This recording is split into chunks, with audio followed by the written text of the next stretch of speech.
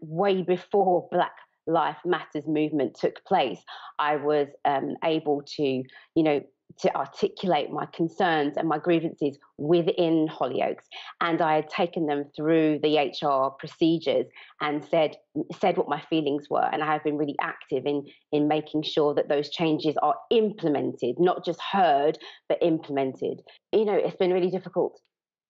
really difficult because I've been, you know, seen as an Uncle Tom, a coconut, um, a clown, a puppet to be used and um, my voice, I've used my voice um, very forthrightly way before Black Life Matters.